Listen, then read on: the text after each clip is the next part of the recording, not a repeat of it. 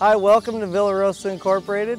My name is Kurt Johnson. Uh, I farm here with my brother, Kyle Johnson, my grandpa, Bill Schrage. We milk about 95 cows with robots. We um, heard about robots and we're kind of not wanting to go that route because of the amount of money, but we, our grandfather uh, suggested we check it out before we totally discount it or uh, not check it out. The amount of money we'd save in labor would almost just pay for the robots themselves. Became a no-brainer after a while and didn't ever look back.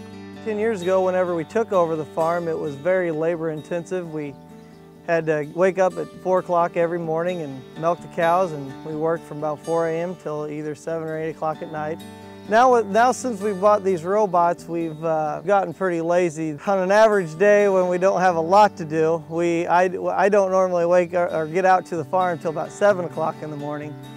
And uh, the first thing I do is I go to the computer and I'll, I'll, look at the list of cows that haven't been in through the robot or the, the milker in say 12 hours plus. Anyways, I'll go get those cows and run them in. Uh, then I'll, I'll go over and look at several other charts on the computer to make sure as far as uh, udder health, see if any cows have mastitis, or if I have any cows that um, are even lame or lost body weight.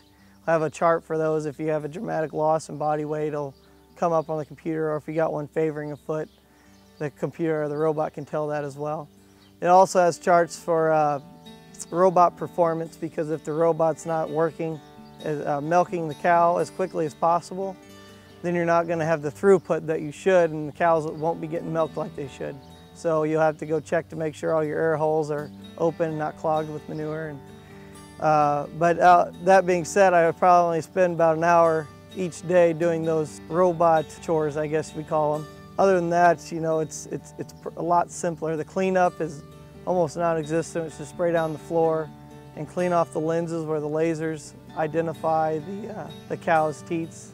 Now that I've uh, got these robots, I have much more spare time to um, do family things, uh, social activities. Uh, the, one, one of the bigger advantages also is, um, not to say that family isn't, but I'm a better manager. For example, hay work. We don't have to stop at, say, 4 o'clock in the afternoon to go milk the cows. It, it, everything stays the same. We keep going, we do our thing, and we get done with everything. And uh, you, at the end of the day, whenever there's one, one or two more small things that maybe isn't, uh, it doesn't have to be done, it, it, it, uh, it, gets done now instead of being too tired to go and do it. The lifestyle is just um, a, a lot better compared to what, what it used to be.